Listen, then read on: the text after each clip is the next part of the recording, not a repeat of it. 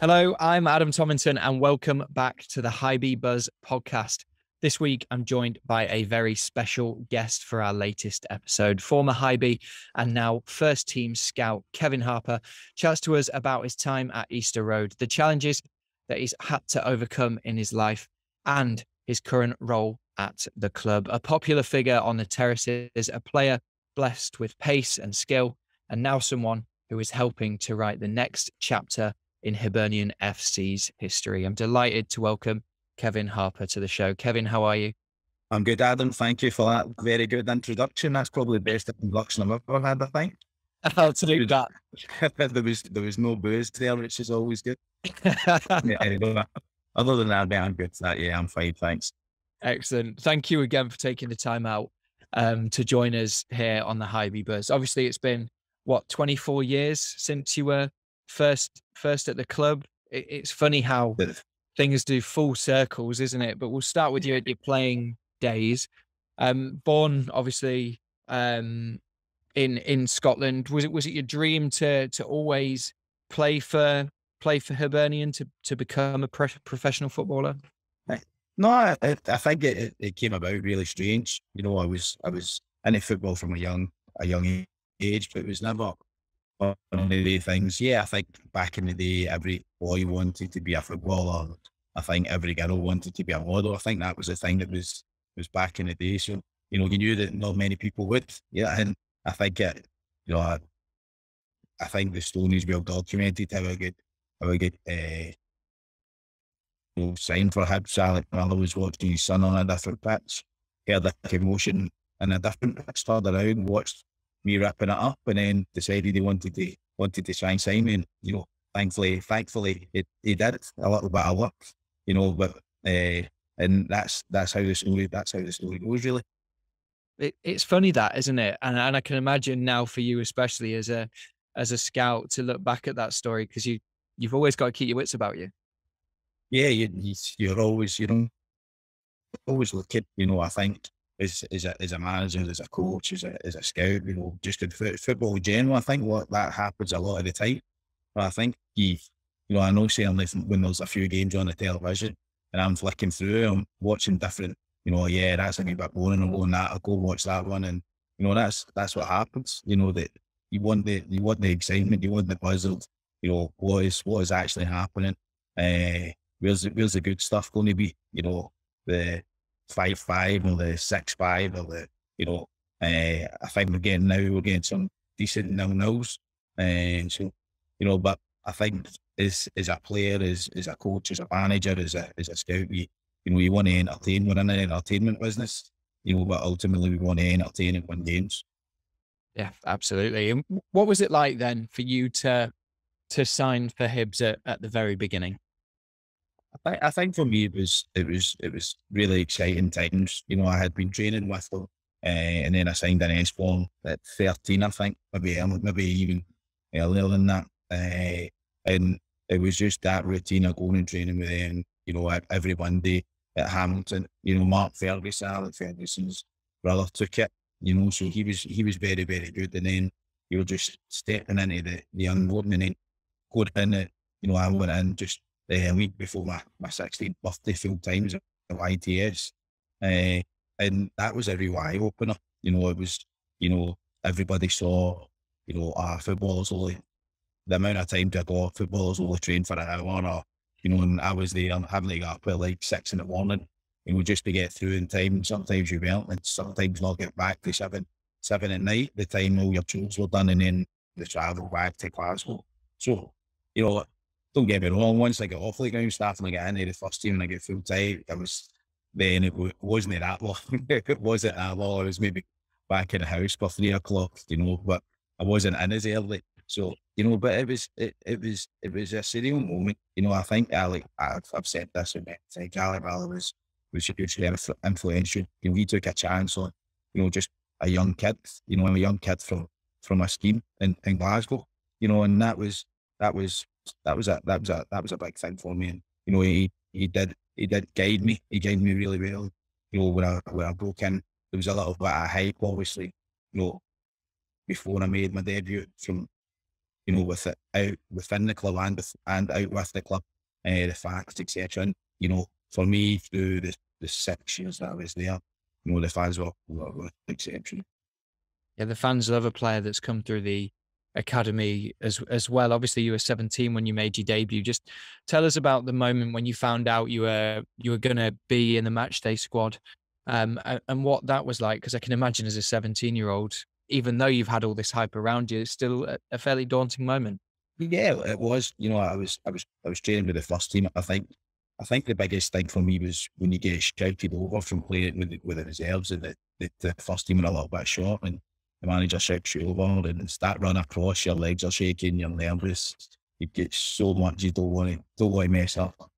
Oh, you're going into all these these players, season pros, and then to be travelling on the bus with the team up to up to Perth as it was, you know, it was was nerve wracking as well. And going out and training, you know, just to warm up was was was a serious moment. But in fairness to, to the players and the team, they were fantastic with me. But you know, I, I remember sitting on the bench just thinking we went 3 1 up, I think, before that. And then I came on and then I was sat sitting thinking, yes, that's me got the bonus. I think it was like 200 quid or something. you know, so I was like, yes, that's the bonus. And then Alex Miller shouted me and then, and then the proverbial hit the fan. but uh, in terms of the when when you're kind of on the pitch, did it take you a few moments to settle in, or was it just the the buzz of of actually being on there? Did that take over? Yeah. Just, I think there was many. It was just the buzz getting, again, yeah, actually be able to put that strip on was great. Uh, going on, going on, I was really, really nervous. I'll not, I'll not deny it. I want say that was calm as anything, but you know, the manager and the, the experienced players helped uh, make it, make it uh, as, smooth as possible. But when you're three one up, you know, you're absolutely fine. You know, uh, you're no problem. Yeah, this is easy. We're going to full control of the game. So it was it was it was good. But once you get that first touch of the ball, then all the nerves go away, and you know you just do what you've been training for. Yeah, And when you've had that first taste of it, I guess then it's a, a case of you saying, right, well, I don't want to train with the reserves anymore. I really need to push myself on and, and get a starting shirt.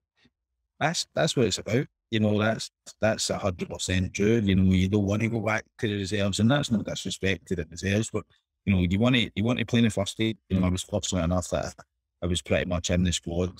You know, the most the most of the rest of the season. So, you know, it was nice. But you know, you always go back to the reserves as well and enjoy your time there because that's your that's your you know the ground staff boys that you got playing. You know, you you've grew up with. You know, in, in in that short period of time. You know, I was only was it I was in the ground staff for two and a bit years, but you know, I was I was in the first team, you know, after just a year and a half, yeah, well, just a year and a half, yeah, I made my debut from, from within. Probably, you know, it's it's it's a big thing. It's a it's a big thing. The ground staff, it's a lot, of, you know, positivity, and you know, you you live and sort of die with them. It's it's such, you know, you have your good times, you have your bad times, but you know, Stuart Collie as well. The physio was was was good. He was he was he was hard, but he was fair. You know, so you, you sort of grow into yourself really. You know, you I think you have to sink or swim. You know, and that's you know, thankfully, you know, I could I could swim a little bit. And you mentioned Alex Miller, obviously, and the role that he played in in terms of taking a chance on you. When you then got into the first team, you were training with them regularly. How much help did he give you to to help you develop and and progress as a player to actually then get that starting shirt? Yeah, he was he, he was he was fantastic because he was very knowledgeable. You know, I think if you speak to any any person that comes across that has came across Alan Miller, he's very very football. His football knowledge is incredible, second to none. So you know, he he could help me understand where I had to go and how I had to improve. But I think the experienced players, I, I keep going back to that. The experienced players were really really. I didn't accent. Pat McGinn, falling off. Uh, Keith Wright, you know, Kevin McAllister, and Michael O'Neill when, when they were there. I could go through the whole team, Graham Mitchell, Willie Miller. So they, they were all they were all ex- experienced. You know, Jim Leighton, even as a goalkeeper, and John Burridge as a goalkeeper. I felt that took a little bit. I tried to get a little bit from every single one of them. Mm. You know, and the positive stuff that they done to make my own career. But if you could take as many good things from the experienced boys because they've done, they've been there, done it and it's fantastic. Yeah, and looking back at your your time at, at Hibs now, what what were your what were your highlights? What really really kind of stands out for you? I think I think the highlights is obviously making my debut. There's there's a few uh, scoring in my first my first few. Well, you know, at Easter Road against Dundee United when we won five 0 But I think when I look back, it's probably the, the, the goal New Year's Day against against Hearts. You know, your, your local rivals. You know, Year's Day. It's that whole. You know, I, don't think it gets much bigger than that. That's one that will be with me as well, and you know, probably my goal against Rangers would have them two one, uh, a header. Uh, that probably put me from you know sort of being a little bit known to you know probably you know nation known if that makes sense you know, because there was so much hype after that. Uh, but I think also when I came on as and I scored against Hearts to beat them, we, we drew to each. I think it was we beat them. No, we beat them to one by the very score, and that pretty much you know stopped them, making they couldn't win the league. So you know it's always always good to slay your slay your local rivals, city rivals, and get one on one in there as well. Yeah, I'm sure the the Hearts goal in 1998 was one that um, that the fans obviously remember really fondly as well. The mazy run and the excellent finish. Yeah, yeah. No, that, that's that's it. So, you know, I, I think I think I, I done well against against Hearts and, and the bigger teams. You know, I think I stepped up as a big game player, but you know, I think over over the course, my time at Hibs was really really enjoyable. Yeah, and I guess the only thing for you was not having that that opportunity to almost say goodbye to the supporters when when you left for what was a a, a big figure, um, yeah. 300, 300 grand, wasn't it, to to yeah. to? Yeah, I think that was that's the biggest that's the biggest issue that I have, and I've said that, you know, several several occasions, you know, because I came through there as a kid, and you know, the fans did take me to heart, you know, and not to be able to acknowledge their, you know, their support of me over that over that period over these six years was was was hard. Yeah. What what would what did they mean to you, the supporters? I, I think it was just it was it almost felt like a family, you know, because I was one of theirs. You know, it was it was there was a lot, as I say, there was a lot of hype, and you know, probably you know looking at it, probably didn't fulfil the hype, you know. But you know, I stood up with big games, and you know, for me, even just go back there gives me gives me a buzz all the time. Gives back go back to Easter Road, although although it's changed a little, just a little bit since I was there, but still, it's still a real, a real buzz and enjoyment back there. In my role covering Hibernian FC home and away, I'm constantly using my phone, tablet, or laptop, and I know the importance of staying safe online. That's why I use NordVPN. By using NordVPN, this protects my personal data and bank details from hackers and gives me peace of mind whilst traveling and working on the move. Thanks to our great partnership with NordVPN, you can grab your exclusive deal by going to nordvpn.com forward slash hibees or use the code HIBEES to get a huge discount off your NordVPN plan, an additional month for free, and a bonus gift. It's completely risk free with Nord's 30 day money back guarantee. Yeah, and one thing I wanted to to talk about, um, and it's something that you're obviously very involved in, is um, the racism around the game. Um, obviously, something you're very proud of is that you were the first black player to play for Hibernian FC. Um, at the time, did that feel like a, a significant step? Uh, to be honest, at the time, I didn't know. I wasn't aware. Uh, I wasn't aware that I was the first ever black player to play for Hibs. Uh, so it was, it was, it was no, there was no real issue with it. You know, no real big fans there. Uh, but I think certainly knowing that I was, I was a probably the first black kid as well to come through the ranks in Scottish football. You know, to play in, the, in team's uh, first first team was was really really big for me as well. Uh, and I, th- I don't think there's many came through the ranks the way that I had. You know, black ethnic players even today to, to today on that. You know, so I was one of a kind in more ways than one. What what was that like as a, a young black footballer playing up here, obviously in Scotland? It was it was it was it was difficult. It was difficult. You know, you got your you got the racial abuse. You, know, you hear so much so much spoken about. uh, and it was it was hard to deal with, you know, because I must admit I got it as a, in, when I was at Boys Club, but I never ever thought that I would get it in in professional football, and that was probably just how naive I was. You know, how naive. You know, I just looked at football and thought, oh, it's, you know, I'll never get that. That's just in the Club. But as you got to the, as you got to the professional game, I got it from from season pros and and from you know fans, which is disappointing, but we're still getting it. You know, black and ethnic minority players are still getting it. So, you know, it's it's a football problem, it's a society problem. And until we, we attack it head on, there's always going to be a societal and football problem. How did you, well, whilst that's all going on, and uh, obviously you've, you've kind of trying to focus on playing football and enjoying yourself, but how do you deal with that? Because I, uh, I can imagine it's incredibly, incredibly hard. Yeah, it's very, very difficult. And to be honest, but I, I couldn't answer that. I don't know how I dealt with it. If, if I'm honest with you, you know, it's, I grew up in a, a rough area, so probably that was, that was probably the making of me. Uh, because I wasn't I would say that I was used to it, but I got it, you know, when I was out and about. But I think in, in, in my area, when I grew up in Boswell Park, I was probably one of the poster boys there and everybody was almost like put their arms around you and went, no, you're one of us. You know, and I think that's when you go back in, when, when I went back to it, that's probably what, what it was. Uh, but, you know, I, I, think that's probably the only thing I can think of. Mm. I can imagine in in those moments, you it, it's incredibly hard to see it, but you're almost an inspiration to people of a of a similar similar background in terms of obviously where you were brought up or or other kind of youngsters that that are um, of an ethnic minority that want to become a, a professional footballer? I think I think I think you probably I, I didn't I certainly didn't look at that at, you know seventeen when I was making my debut. Yeah, like as as I, as I get older, I realised, and that's why I, I speak so much about racism in football and equality. You know, because I have a, a duty. I feel that I have a duty as an ex-professional footballer to try and make change.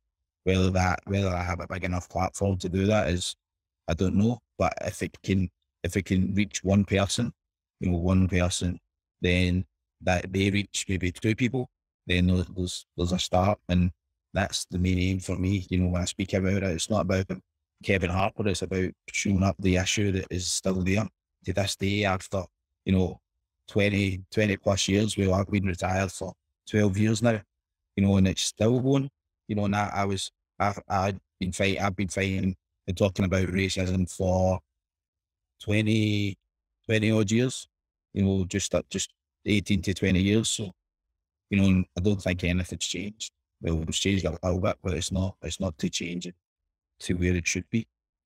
Yeah, I, w- I was going to ask how, if you felt like there was any progression being made over the years from your playing days to to current day now. Uh, I think I think I think the, there's we speak about it more. Mm-hmm. You know, but I think if is there is there actual change? Has there been actual change? I don't think so. I don't think so. I think if you look at there's probably more black and ethnic players playing, but less coaches. You know, certainly in Scotland, there's you know you, you get Giovanni Van Bronckhorst and you get Marvin Bartley. You know, Giovanni is is done really really well in his career. He's managed managed other clubs, like with Mar- Marvin Bartley, who's came through at Livingston, so he's had, hasn't had to necessarily, you know, uh, apply for a, a, vacancy, you know, and uh, and he's doing he's doing well. He's he's leading he's the leading light in, in racism, uh, which is which is good. We need more of that, but ultimately, do I think it's changed? I don't think it's changed that much. No. You obviously mentioned um, Van Bronckhorst and and Marvin Bartley just just then. Obviously, you were the first black manager to be hired by a Scottish club for for 15 years when you were appointed by Albion Rovers. How how difficult did you find it to to get into coaching and, and management and to get that kind of job? I think it's that I think it's difficult. You know, I think at the end of the day, I've said this and it's been well documented. I don't I don't think I was the best candidate for all of the uh, all of the jobs that I applied for. You know, I'm well aware of that. I'm a realist, but I think certainly for you know a vast number of them, I was the best candidate, uh, and ultimately, you know, I had the best experience. You know, and I'm talking about players that have went into management with no management management experience. Uh, but at the end of the day, chairman decided that someone else was felt that you know they deserved an interview. And I think for me, it's about it's not about getting a job because I'm black. It's about having that equal opportunity and people looking past whether you're black or whether you're white, looking at what you've done in the game. And I get that, you know, mm. everybody needs a chance somewhere. You know, I think I don't think I was a, a, a failure at Albion Rovers.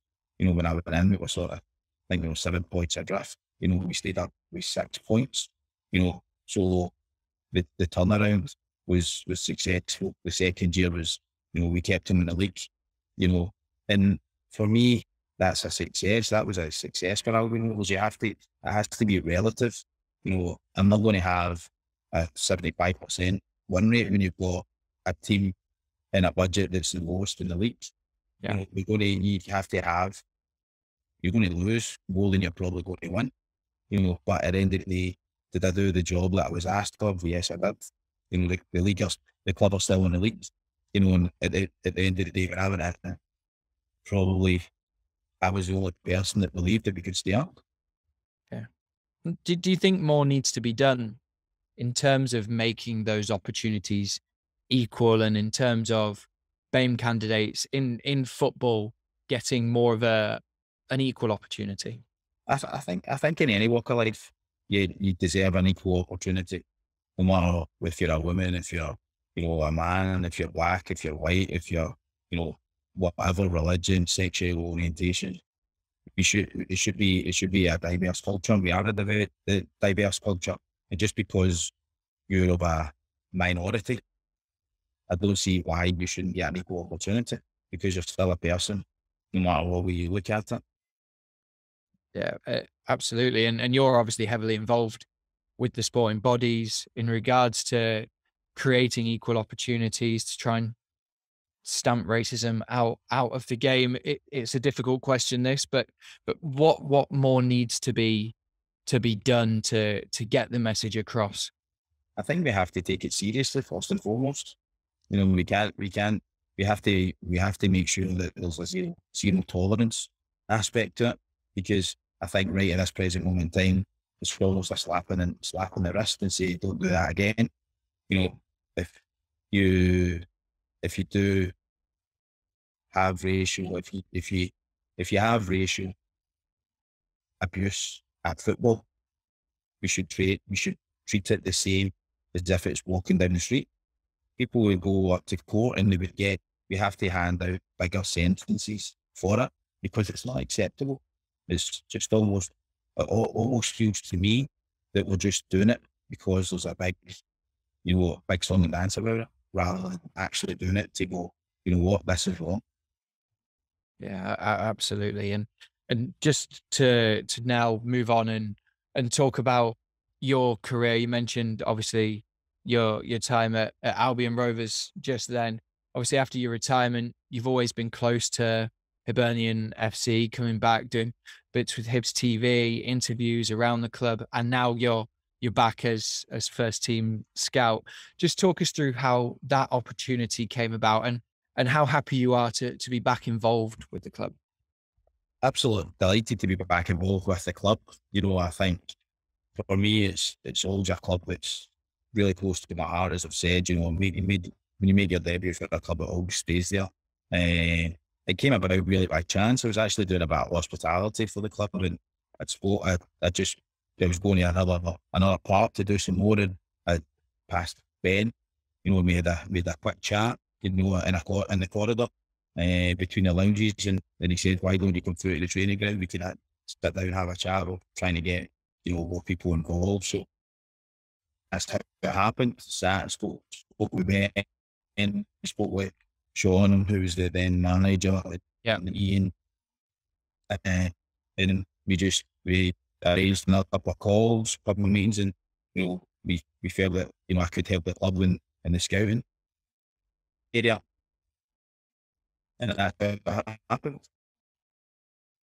It sounds like a silly question, this, um, but I'm sure it's one that, that some fans think, well, why are you asking that? But at the same time, I think it's that broad that it, it's worth asking and getting your point of view on is what what is a a first team scout? What what does that entail as a as a role? Because a lot of people think, well, it's just going and, and watching players and, and writing notes, but it, it's just more. It's a lot more than that, isn't it? it you do research on players. You know, you're watching. You're watching lots of lots of football. You know, yeah, it can be good, but it can be monotonous as well. You know, you're, you're looking at players that the the, the managers you're not interested in, or you know, the head of recruitment. What, what you look at, you're going and speaking. You know, you're going and seeing players live. You're seeing them on, on screen, and then you're reporting back. You know, and it's there's a there's a bit of pressure on it because ultimately you have to say whether you believe a certain player would be good enough for the club first and foremost, a good fit. Is he better than what they have? Is he is he is he or she the best person for that role? You know, so and then yeah, there it's up to the head of recruitment that passes it over to the manager, and then the manager takes that. So you know, your your advice and you know your thought process is is important, uh, but ultimately at the end of the day, you know, I can only be honest whether I think they're they're, they're good or not. You know, no matter no matter the baggage, I think the biggest thing that you have to do is take yourself out of all the hype from what you've heard of them, you know, and, and give an honest opinion. It's easy to say that, yeah, I really like this, I really like this player, you know, but ultimately, is he going to be a right fit for, for the club and for the manager and the way they style of play? So, you know, there's lots of permutations that you have to put into your report and, you know, feedback, you know, because ultimately, I'm not saying that the manager's going to going to take going to go by a player on my say so. But at the end of the day, it could be the difference between him saying, Yeah, I want more information on this player or, you know, no. And then two months down the line, the player that he says no becomes a superstar. And he's pointing that finger and going, What are you thinking? it, it's really interesting, I think, because there's there's lots of elements of of being a scout. I think people when you kind of or when someone goes and watches a game, it's looking at a player and say, right, well, does he have a good game or not? But you, you're looking at lots of different elements, aren't you? You're looking at the technical elements, what they're like on the ball, the tactical awareness, but also the mentality of a of a player, whether they're willing to do the or put in the the hard yards, whether they can grab the game by a scruff of the neck. How hard is that element to to judge? It's, it's, it's, it's difficult. It's difficult. It's not, it's, it's not, it's not as simple as everybody thinks, but I think what you have to do is you have to take in account, you know, elements. Are they playing, for, playing at home? Are they playing away? How different are they? What are they saying and or shouting at them? The fans are getting on their back. You know, the manager's giving them like instructions. Are they willing to go and, you know, if they're, if they're a wide player like I was, are they willing to go and take the player on inside? Are they willing to take him on in, outside? you know, all these different things you work willing to work back and chase back and work, you know, sacrifice yourself for the team first and foremost. But when he gets the opportunity, have the has the have they got that ability to go and create and you know, or stop it or stop, you know, the other the oppo- opposition scoring or having a ten. You know, so there's there's lots of different aspects of it uh, that you have to be aware of in that in the games that you see you know, you're not just going to look at the player once. You're going to probably look at them three, four, five, maybe six times. You know, make your report, and then someone else will probably go and see them. You know, and then they'll make that they'll make that response on that, and then ultimately either the manager or the assistant manager will go. I think both of them would probably go. So you know, there's you have to build it. You have to build a picture of what you think. You know, on several occasions, not just one occasion, uh, because the I can't I can't think and I can't imagine that a club would just go and buy a player without, you know, on one scouting report. I don't think that would that would be kamikaze stuff.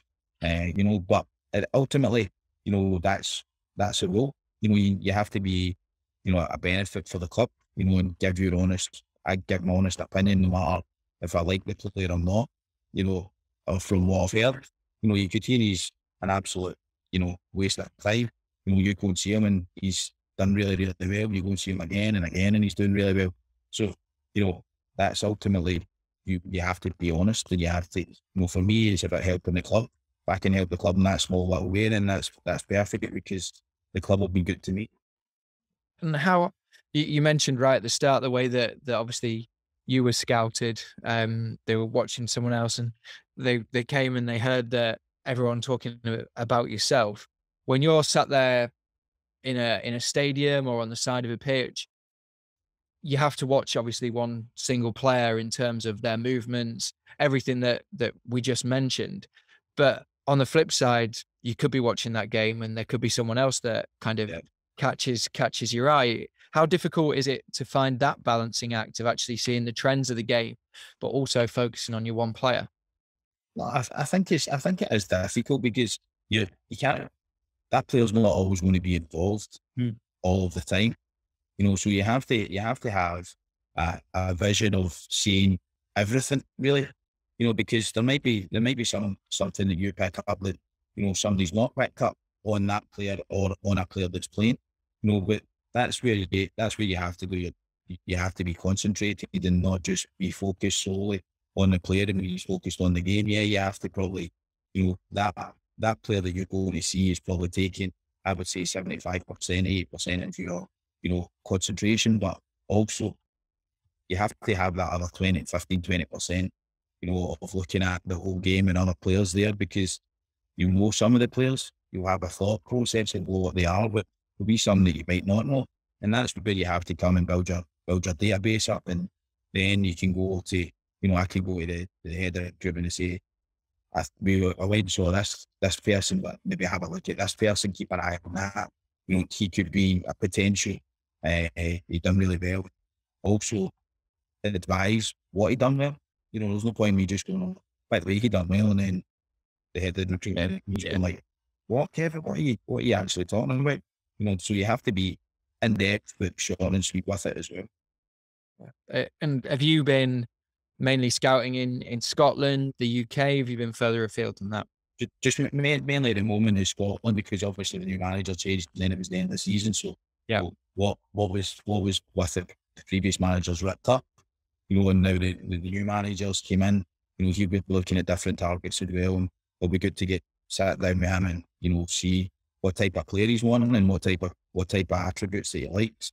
You know, because all managers are different and style of play will be different. You know, could be different. The the system could be be different. So the players that Shaun was was looking looking at might not fit in the system that the new managers, you know, that Lee's want to do. So these are these are things that you have to sit down with the manager and the head that recruitment and, and, and you know, iron things out so that I get so that I in a personal and selfish space have a, have a clear knowledge of what the club want. Absolutely. Well, Kevin, I think we'll leave it there. But thank you. That was uh, interesting, fascinating, eye opening.